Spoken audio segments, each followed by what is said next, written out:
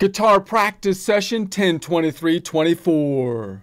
These are fairly sloppy practice sessions where I practice whatever I think I need to be working on and then give you a recap so you get an idea of what you're getting into. This, of course, being that recap, hoping the practice sessions generate a routine, help me to verbalize the things I'm trying to learn to get them in my mind better, possibly provide information to others learning similar things, possibly also providing for feedback if anybody sees a better way to try to learn the things I'm trying to learn, I do think presenting the information is useful because you verbalize things in ways you might not otherwise do even if no one else is listening. So if anybody else wants to take some of this information or these worksheets and make your own practice sessions, don't worry about plagiarism or anything like that. We'll try to provide you with the worksheets, but they will be orientated from the perspective of actually playing the guitar. And if you're behind the guitar and imprinted the screen, the strings on the page, You'd have the top string on top, top to bottom, left to right, same orientation from you behind the guitar. I'm going to flip my guitar around so it looks like I'm left-handed. So what I'm playing should line up to what is on the screen here, which should also line up to you from the perspective of behind the guitar so we can focus just on what we are trying to do.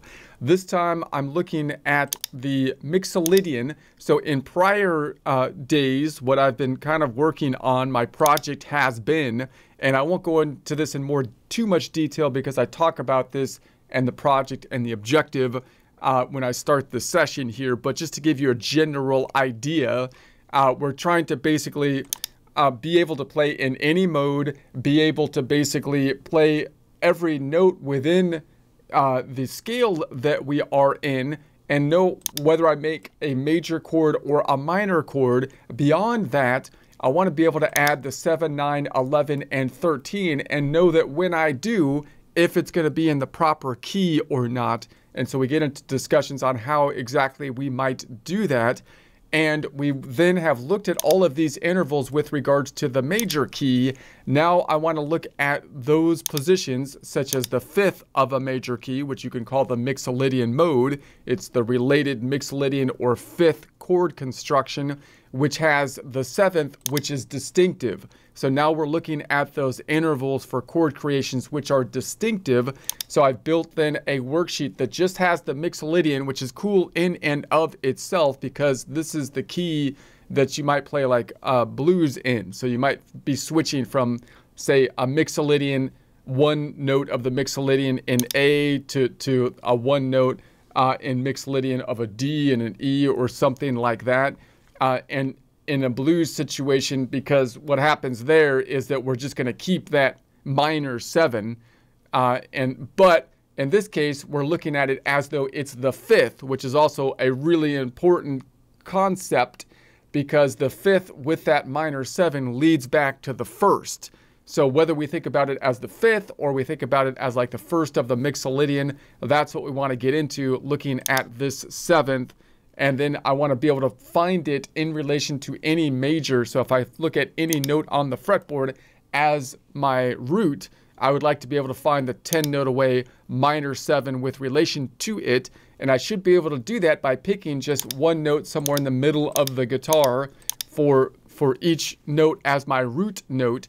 And then there's only going to be one seventh uh, on each string because there's only one note uh, in in the 12 note octave that is in our that is in our uh, 12 notes, right? So it's actually it seems overwhelming to kind of do that, but it's not too bad if you break it down systematically. We'll just learn, and then I'll learn each string and say, okay, if that's my root, here's the seven on that string, here's the seven on that string, the minor seven, here it is here, here it is here. There's only that many of them. And then as we do that, I'm also going to try to say, well, if I grab that seven, could I also grab my major triad? Remember, we're looking at a major triad with a minor seven because we're looking at that Mixolydian uh, seven, which means it's distinct or different than the seven that you would have on the one or the four compared to the major uh, key. And so as I do that, I'm looking for first grabbing all the notes. If I can't grab all the notes, I will try to grab then the third and drop the five because the third gives the flavor to the triad. If I can't do that, I will grab the five and then uh, drop the third. And you can even think of this as though you're dropping the first, which is weird, but you can think about it from that perspective because you're still going to get that minor seven like feel if you grab like the three, five, and seven, which you can also think about possibly as another chord related to a different, you know, root note.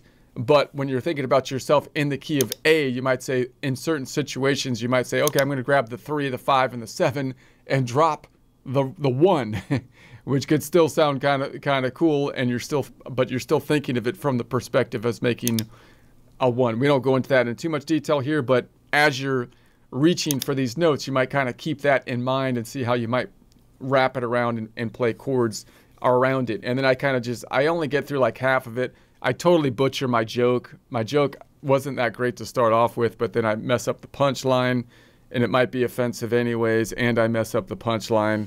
So I don't know. You might want to skip the joke. I'm not very impressed. I was going to redo it, but it's like practice sessions, you know, so I, I didn't want to redo it because it's a practice session. So it is what it is. And then I just kind of jam at the end, uh, and that's it. And I only get like halfway through, so I'm going to do the second half maybe tomorrow unless I forget. Continuing on to the Mixolydian mode, focusing in on the seventh of the Mixolydian mode, possibly the most important interval beyond the major scale intervals and beyond the intervals that create the normal three note triad, that being the 1, 3, 5. Noting that the 7, 9, 11, and 13 intervals that we would use to create chords can be a little bit more confusing for multiple different reasons. One of the main reasons being that we cannot apply the normal just across the board major and minor chord constructions as we can with the 1, 3, 5 to the 7, 9, 11, and 13. Or in other words, when we think about a three note triad chord, we can break it into the category of either a major chord and a minor chord. Both of those have the same intervals for the 1 and the 5, the distinguishing factor being the 3, major chords having a four note away major third, minor chords having a three note away uh, minor third. But then when we go to the seven, I can't just say that there's going to be a seven that will be applicable to all of the majors, and then the the set the seventh distance for the minors will be different. We can still use the terms a major seven and a minor seven, and we'll still use those terms, but we're going to have some major modes, in particular the Mixolydian, that has a minor seven in it. So, so that's what we have to kind of wrap our minds around. And remember that the general project here is that I'd like to be able to, let's go back to the related modes tab over here. I'm in, now I'm in the, the tabs with all the related modes that are in the key of C. Uh, major and related modes for the Dorian, the Phrygian, and so on and so forth. Our goal is to be able to say, hey, look, I would like to be able to play in any of the modes I would like to have some convention for me to reorganize the notes for all of the related modes and be able to construct then a chord off of those uh, related modes. Now, the first way we do that is to memorize the major scales and then have a shortcut to say that the one, three, four, I'm sorry, the one, four, five will be major chord constructions. The two, three, and six will be minor chord constructions. The seven is diminished. That is very practical because it helps us to build songs based on just that information. But then when I jumble up the the ordering of the notes to the related Dorian, I have the same notes, but now they're in a different relative position, and therefore it's going to be more difficult for me to think about where those relative positions are and whether or not I make a major or minor chord from it, which we can kind of get to a, a little bit if we can't memorize all of the orders here, what we can do is try to tie it to the major key as our Rosetta Stone and try to say, if I can link these to the major key and figure out what the relative position is on the major key, then I know that the 1, 4, 5 will be major and the 2, 3, 6 will be minor and so on. However, beyond that, I want to know uh, what about the 7, 9, 11, and 13? If I want to build a more complex chord, how do I know that that chord fits in the key? Well, then we have to go to the modes typically, right? And that's why I'm going to use the major, uh, uh, an absolute mode numbering system based on the relative positions of the major key. And that will tell us what mode that we are in.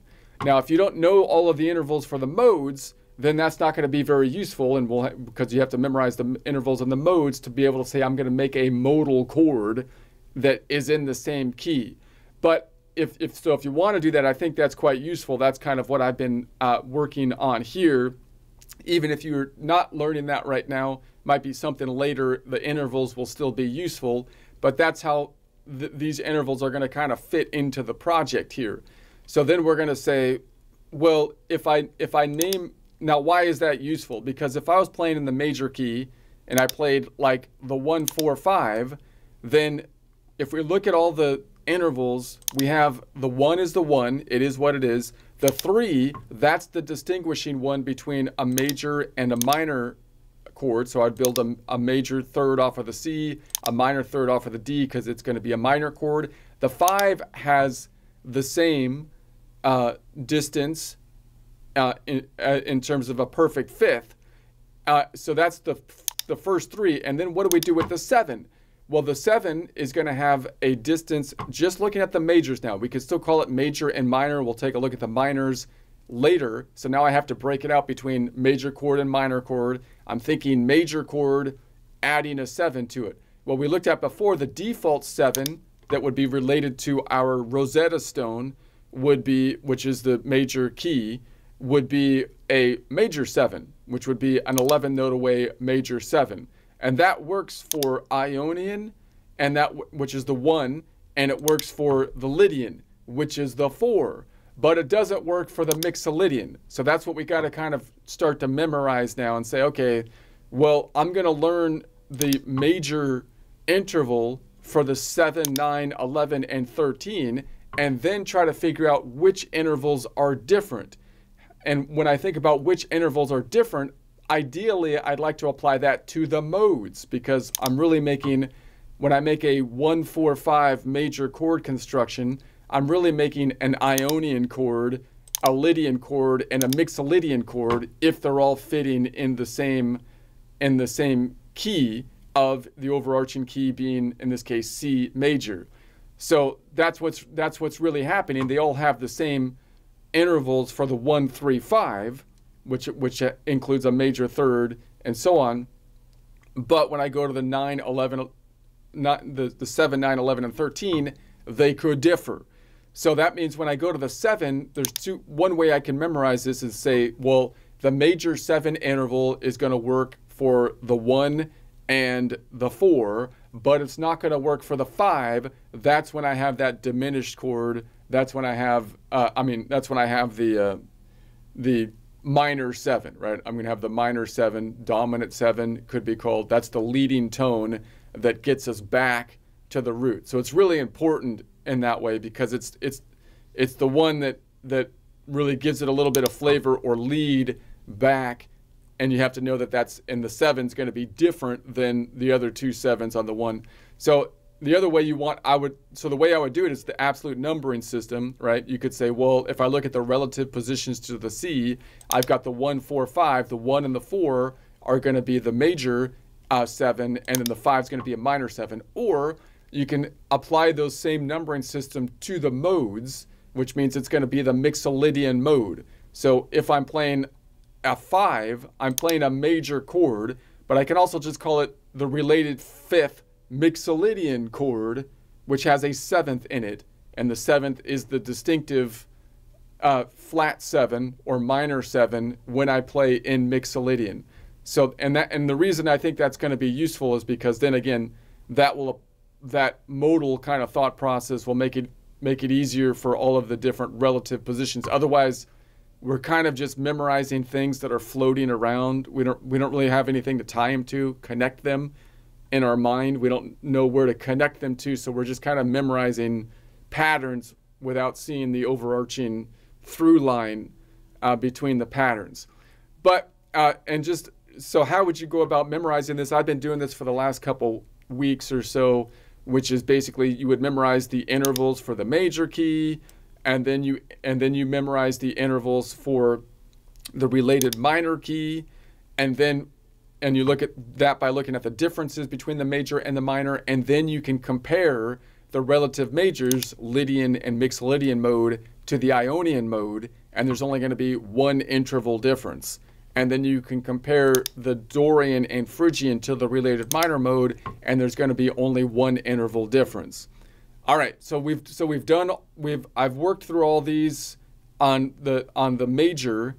Uh, now I'm going to look at the differences. So the fifth, when I go to the fifth, it has a difference of the of this seventh, right? So if I when I go to the fifth, so I'm going to think about the fifth now, map it out instead of mapping out the the the scale here, which is what we use to create the chord. I'm going to map it out uh, over here in its own mode. I'm going to think about it as though I'm going down to the fifth mode, right? So I'm going down, I would be going to Mixolydian down here into the fifth mode and think about it from that modal structure. It's, it's the same thing here because the related mode is the C major. Okay, so I'm going to go over here to, to the Mixolydian.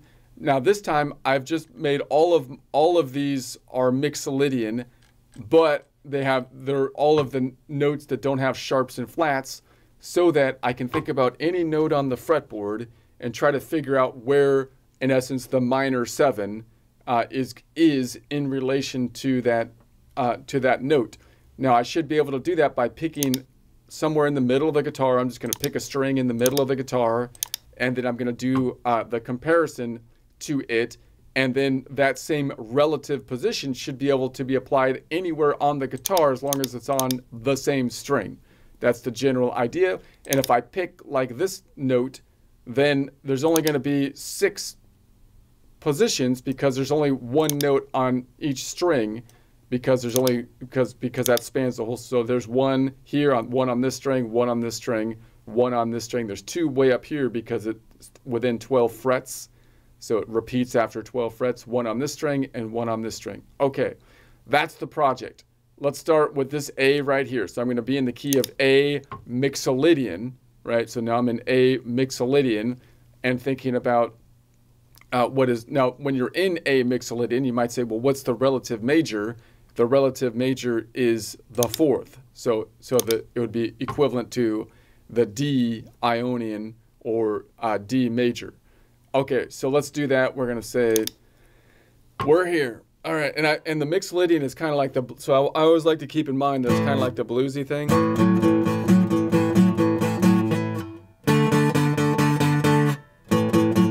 Lot of people think of of like the bluesy thing different ways. They think of it like they're playing the minor like a minor shape, but then they add, but then they but then they slide, and that's a cool way to think of it or you think of it as you're in like a, uh, like you're in the, the major, uh, but you're going to add the flat, but you're going to add the flat seven. you're going to flatten the seven, which basically puts you into the Mixolydian mode, uh, or you could think of it in Mixolydian. So just different perspectives on it, which might make you play differently if you look at it from different angles. Knowing more, by the way, if you don't know all of that, then then it's likely that limitation could actually make you play cool stuff because it's kind of like you have uh, more limitations are actually good to be more creative sometimes, right? And if you if you're looking at it from a, a wider viewpoint, then you often have to limit your limitate. You have to you have to refine down your viewpoint so that you otherwise you're going to get overwhelmed with too much information, right? So I think anyways, but knowing more information isn't bad, right? It's just that then you want to say, okay, now how am I looking at it? I can't look at it from a hundred different ways at the same time. I have to, you have to mm, limit it down to look at it one way at a time. Kind of like if you're writing a poem or something, you have to say, okay, now I'm writing in this form, and that's what I'm going to stick to. Otherwise, I'm going to go all over the place. It's going to sound like modern poetry like gibberish or something. It's going to sound like a banana someone duct taped to the wall or something. It ain't going to make no sense. Okay, anyway, let's get to it. We're going to say this is, so if I'm on this A, so then I, well, is that the, that's not even the A. A, a little out of it today. I'm going to say, what am I going to do then? I'm going to say, well, uh, I'm looking for an 11, a 10 note away minor 7. So uh, the inverse of that would be 12 minus 10, which would be a two note away major second. So if I'm going behind it, I'm looking for the inverse. So if I go from this G to A, That would be a two note away uh, major second. If I go from A to G, that then would be a 10 note away uh, minor seven. So that, of course, from that perspective, I could use that to like arpeggiate. So I could say that I have, what could I do with that note? I have a third here, so I could go one, three, uh, minor seven, right? One, three, minor seven, one, three, one, three, minor seven. I have a fifth over here. Uh, let me put this around here. That's the one I'm on. So I could go like, I could go like one, three, five. Whoop, that's, I can't get to that. Five, minor seven. Let me try that again.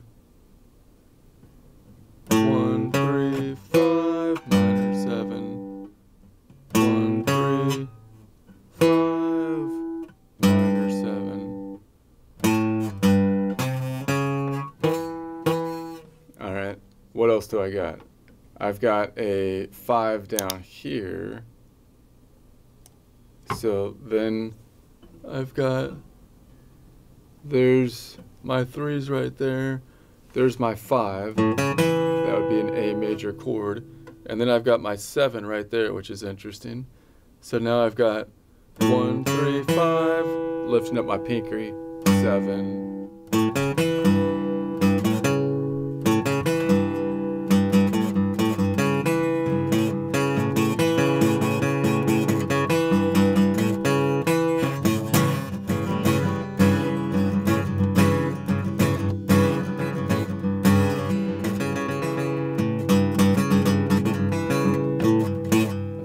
potential actually.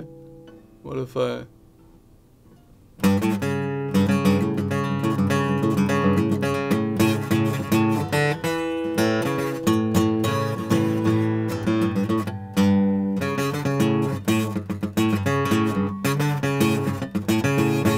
Alright. Move on. Move on. I'm never going to get through all this today. I'm a little. Alright, let's just go to the next string down. We have to get some pro. Got to get at least halfway through this thing, man. Slacking today. You're slacking. Alright. So that's going to be a 10 note away. How do I know? Because there's five notes between each string five, six, seven, eight, nine, ten. So that's like that stretchy position, which this is where you need the big hands, or you hold your guitar up like this so you get like a, you can't really see how I'm holding it, but classical style, because you can reach a little bit further up, get your thumb behind. So I could go from this, so doing that, I've got my E.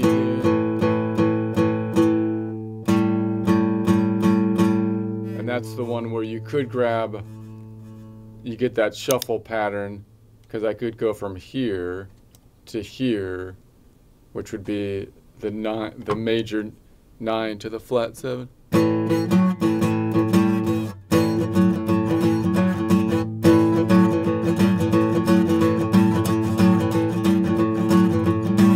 And notice to do that, I'm putting my finger here. Instead of this finger, I'm reaching this finger so that I can get my pinky up there. And then I got my thumb way behind the back of the guitar. So even people with small hands, I think you can actually do this. Because I've seen people do it. They, they convinced me that I, my hands.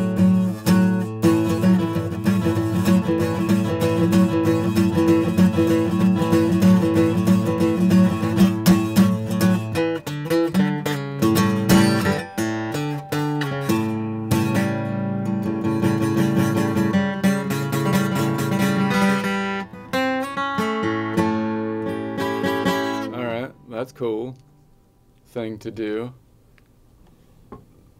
Uh, let's move on.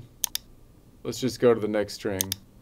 So I have a seven, a minor seven down here. That's the shape that usually should come to mind most if you've been working on like within position shape, within four to five fret position shapes, the five shapes on the guitar. And that's of course five, ten. So five, ten. And that one, you've got a cool shape, a third right there. So that's another, that's a standard blues shape. A lot of tension. And then you got your third up here. So I could switch back and forth between the third. Maybe I go this way.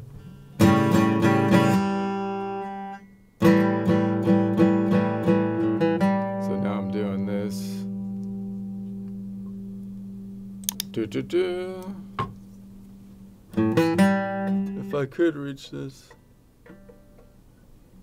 Like, no, it's not gonna happen. Well, what if I did? And then I have my third right here. So now I'm doing, boom, obviously. So my normal A minor shape is this.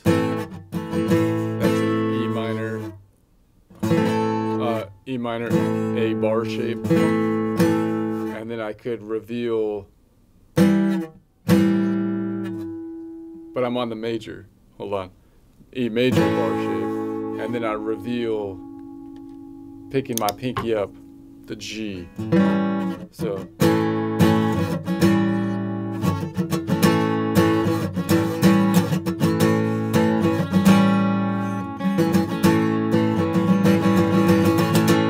You can only do that on the Mixolydian one, or if you're playing in the, like the blues in general, because otherwise that G won't be in there. It'll be up here.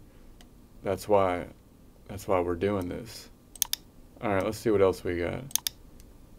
Moving on, we've got, this is 5, 10, 15, 14, 13, 11, 10, what did I say? 5, 10, 15, 14, 13, 12, 11, 10. All right, that makes sense. Could I reach that if it wasn't? That would be a reach. I could probably do it. But certainly not the most practical. So I'll leave it. I see you there, but I'm going to leave you there. I'm not going to spend a lot of time on that one. Let's do this one.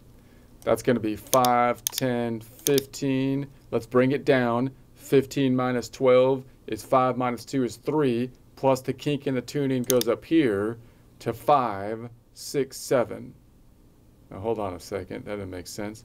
5, 10, 15, which brings it back down to 3. 15 minus 12 is 3. 3 plus 5 is 7, 8, 9. Should be 10. Dang it. 5, 10, 15 brings it down to 3. 3 plus 5 is 8. 9, 10. God, I thought you were an accountant. You can't count nothing, man. Okay. Let's not get rude. I, I, I could grab my fifth up here. I have a fifth up here that I could grab with that. Would you like a fifth with that?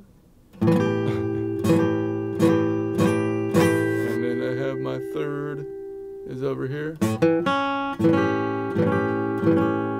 So in other words, I can grab this shape. This is my A major shape. I can let this pinky go, revealing that G, but I can also reach down to this G, let that pinky go and reach down to this G. And if that becomes difficult, I could let go of my fifth and just bring the, the open that up to that D and then I could just grab my third. It's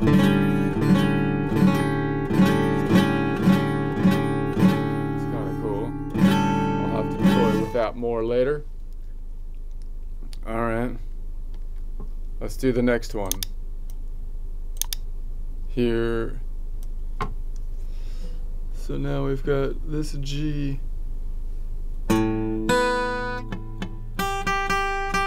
So I've got the third up here. I could grab the third like that. That's grabbing this third, but maybe I could grab like this third. Like if I could bar, if I could get it with that finger, that would be really cool. But no, that's not happening. What are you, crazy? What are you... Can't grab it like that. So there's not too much I can do. I'm not going to think about it too much here. I'm moving on to the next one. I might have to cut this short today. I'm, uh... Let's put my joke in there. It's not a very good joke. But I'll put it in there anyways. Hopefully it's not... I think I need to refine it down. But these are practice sessions. So it is what I'm drink my coffee.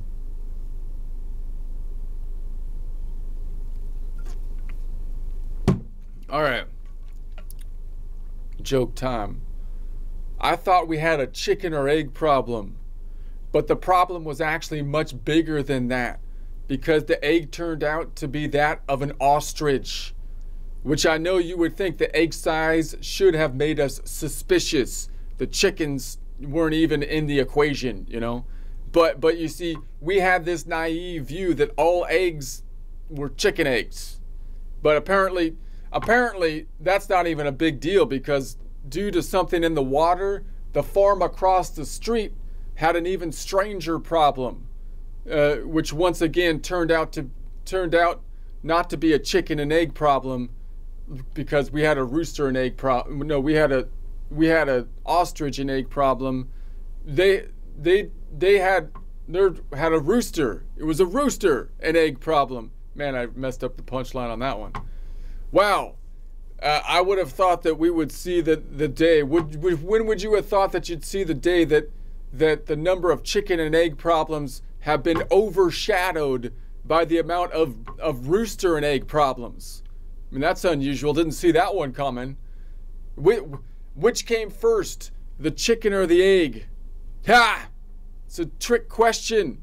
There's no chicken involved here. It was a rooster. Burn. Hey, wait, I don't think that's possible. Okay, we've heard enough about the the about the gender thing. Rooster laying an egg, whatever. That's old news, man. It's like a it's like the carnival bearded lady thing. It's old news. We see it all the time at this point. Just let it go. Just let it go. Okay, whatever. I'll I'll I'll go go to the giant ostrich rooster egg, let it go. I'll let it go on your face. Hit you with the hit you in the face with a giant ostrich rooster egg. I'd say the yolk's on you, but really who knows what's inside a rooster egg, you know? It might not be any yolk in there at all. Getting hit getting hit with a rooster egg may be like being slapped with a with a rooster waddle. A rooster waddle being the the funny rooster skin that hangs down on either side of the of the rooster beak. In case you didn't know that, I didn't know that. I had to look it up because I I thought it would be a funny thing to to reference a rooster getting hit with a rooster waddle. Anyway.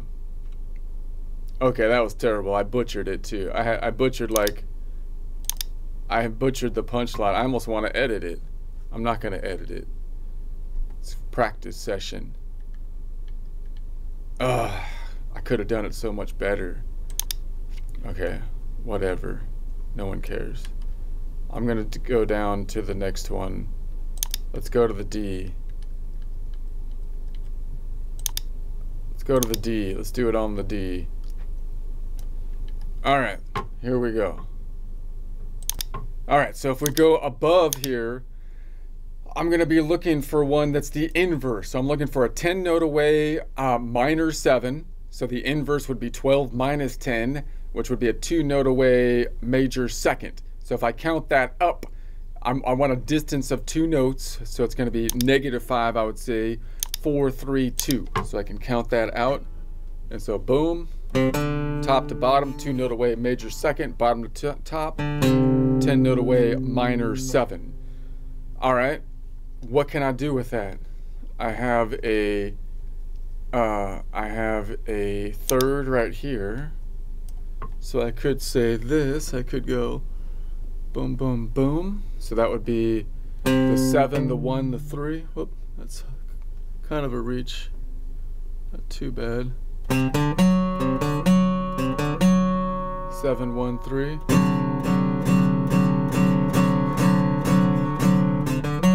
I have a 5, that's over here. So I could go boom, boom, uh, and then the A. Wait a second. No, it's up here. So that might be the fingering for it. So now 715. It's not too bad. And then I could, of course, bar this off. If I bar this off, I get an 11 and another 7 this way.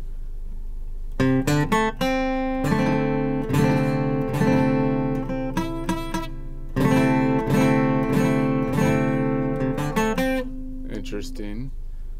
Okay, that's cool.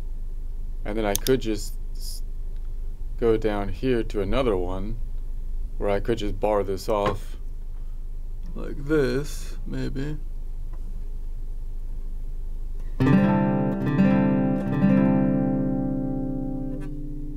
Okay, let's move on. Uh, then here I'm to say we want the 7, so again, behind it would be two notes behind. So if I go from C to D, that would be a two note away major second. From D to C would be a seven note away, uh, a 10 note away minor seven. So then I have a third underneath it. So I have the third underneath it, so I could arpeggiate with that third. So that would be one, three, seven, one, three, seven, one, three, wait, one, three, seven, one, three, seven, one, three, seven. I mean, yeah. I keep on, oh, now I snorted. God, just a mess. I gotta, now I'm gonna say this is gonna be one, five, seven, one, five, seven,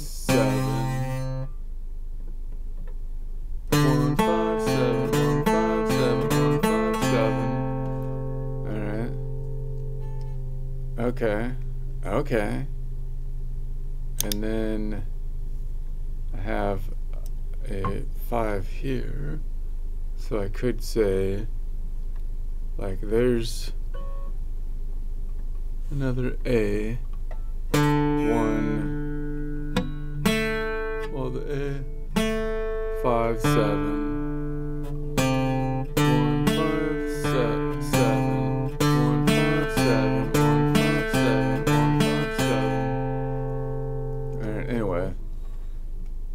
Obviously, I have a five above it. I said I was moving on.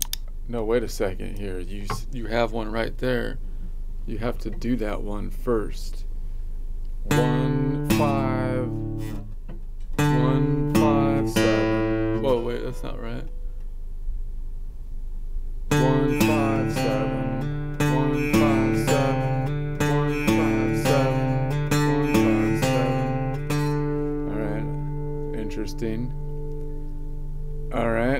Go uh, to the next one down up here. So that's the one where we have our shuffle pattern shape. That would be 5, 6, 7, 8, 9, 10. And so I could shuffle between this A and there by doing this, just like we did up top. So I can go boom. But it's actually way out here. So I can I can go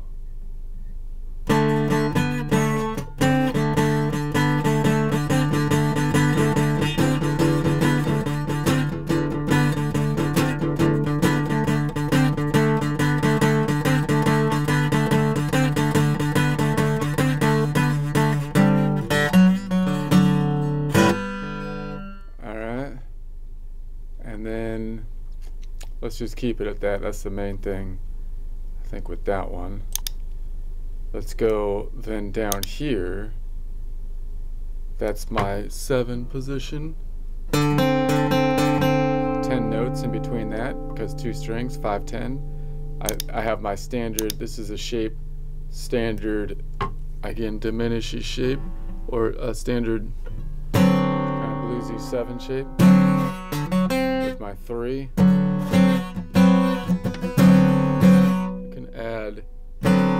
five at the bottom. I could add a five at the top. Two. In other words, I could add, instead of that five, I can add this one. Kind of hard to mute.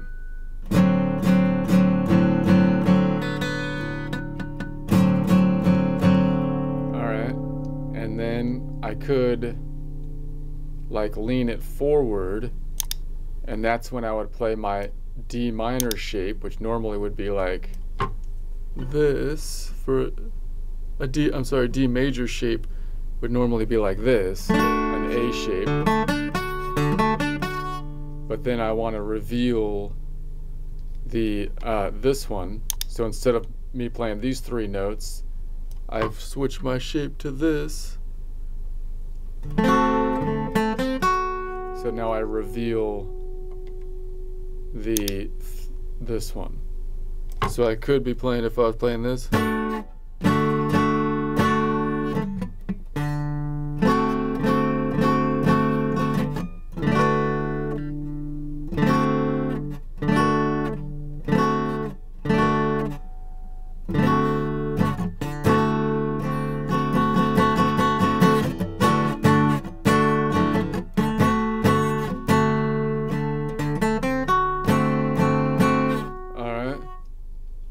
That's muy interesante, importante.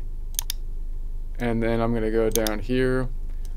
5, 10, 15, 14, 13, 12, 11, 10. So could I reach back to that C? Maybe. Quite a reach. I could grab the third while I'm reaching.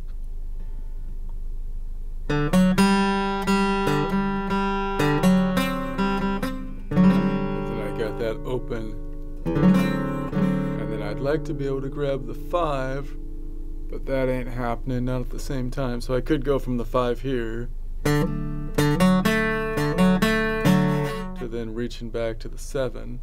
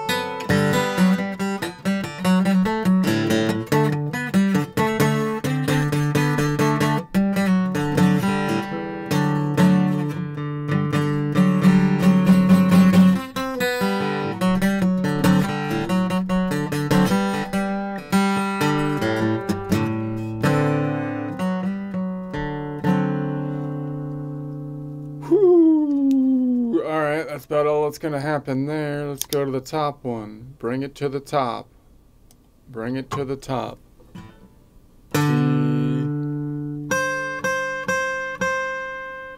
So now I've got, there's the three, and I got my five, so that's, wait a second.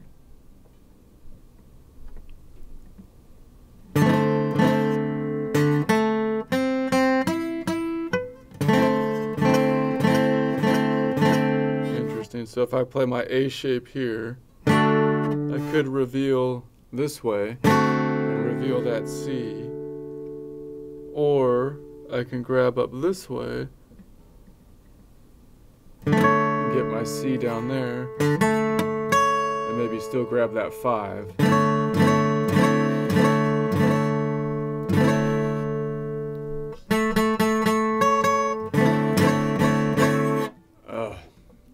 That hurts my hand. Let's see if I can get one more in there. Let's go to the G. My pick isn't fitting in my hand.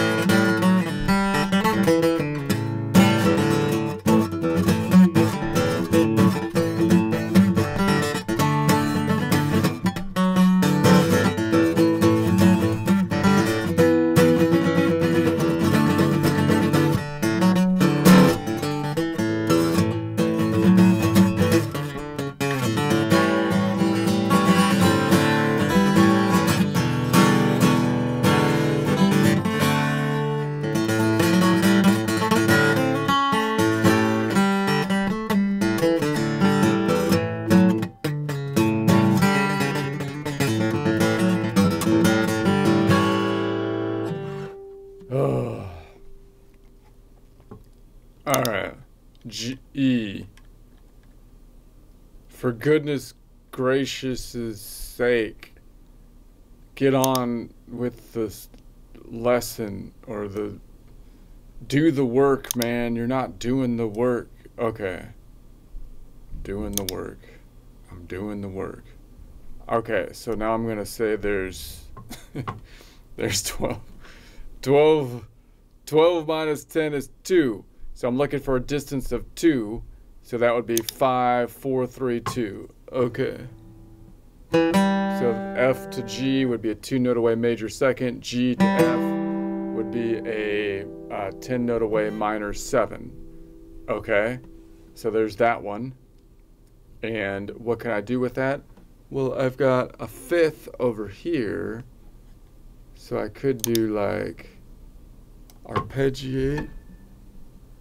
So it could be like one, five, seven, one, five, seven, one, five, seven. Wait, one, five, seven, one, five, seven, one, five, seven, one, five, seven. Okay, I could do that if I wanted to. That was lame. Why would you even want to do that? Okay. Because might be might be useful sometimes. So then I have uh, a three up here and a seven. So that's interesting. So now I've got the three.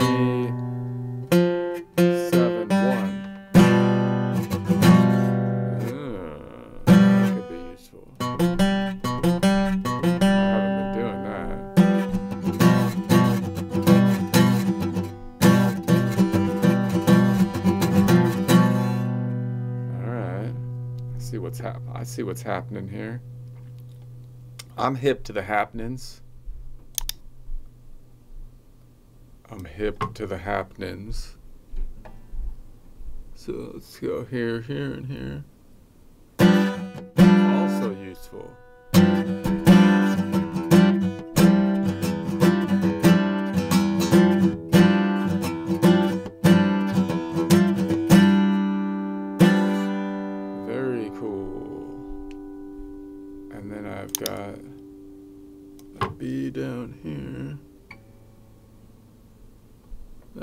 That's not going to help me much.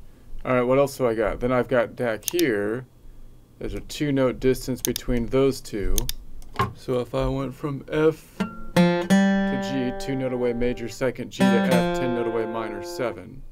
So then I have a five above it.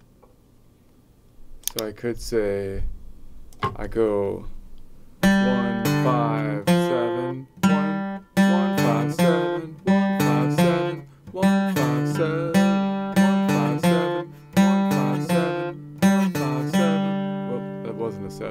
Anyways, and then I have a 3 down here. So I could do it like this. One, one, three,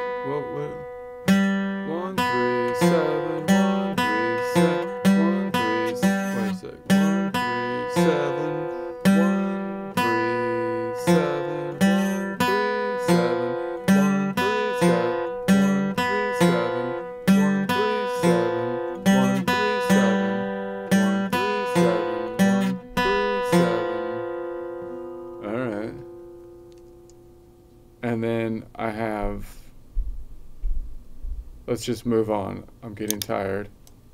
Let's do that here. Getting tired. Wussy. I've... this is, I'm crossing the kink in the tuning, so it's going to be 5 and then 10. It would be back here. That's what we saw up above, but now it's over here because it's 5, 10. All right. 10 note away. Minor 7. So behind it is a 3. So this is a this is a useful shape I've been playing. I've been doing that. I was aware of that one. So one, three, seven. Cool voicing.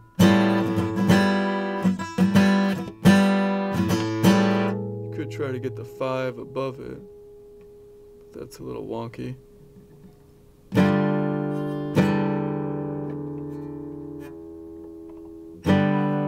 Get the five up here. That's not really easy. It's kind of, you would think it'd be doable, but it is not comfortable. Unless you put your finger behind the guitar like that. But then I like to mute the A up top, or the E up top. Makes it hard. So whatever. Whatever, man. If I was like, I have an, I have a finger hanging out up here. What can I do with that finger? I can't grab that. Can I grab the E? No, it's like in no man's land. It's on the six. Can't do nothing with it. Could. It's just a worthless finger hanging out there. Alright. So what else do I got? I could do this down here. So there's my F. And I got a B down here. That's cool. I haven't been doing that.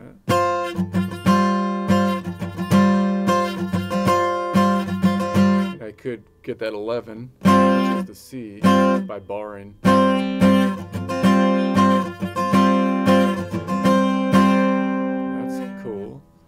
Might have to toy with that a bit more.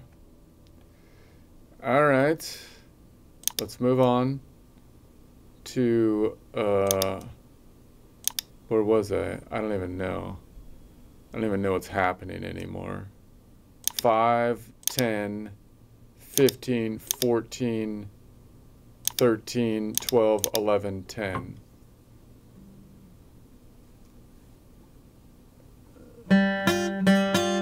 Grabbable. Quite a reach. I could get my third. It's doable. Anyway, I'm a little tired. I'm to stop. We'll keep going on that tomorrow if I remember where I was.